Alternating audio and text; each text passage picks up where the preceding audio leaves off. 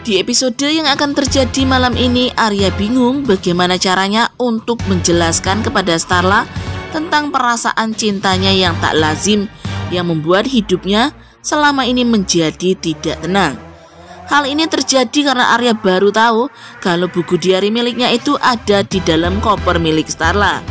Dan hal ini pun membuat Arya yakin kalau Starla sudah membaca isi diari itu hingga membuat sikap Starla berubah terhadap dirinya. Nah, kali ini Arya tidak punya cara lain kecuali harus jujur kepada Starla tentang perasaannya yang telah mencintai Starla.